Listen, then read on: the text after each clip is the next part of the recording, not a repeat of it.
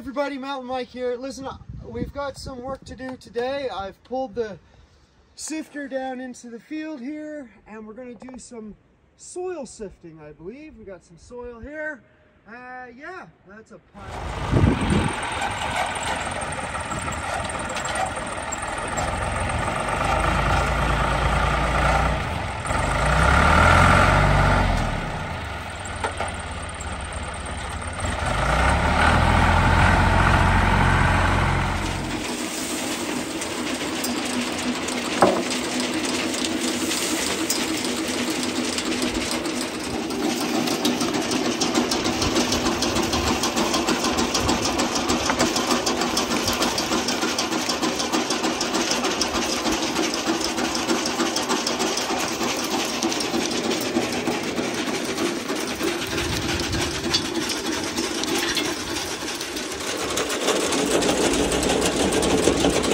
It's working great as a sifter.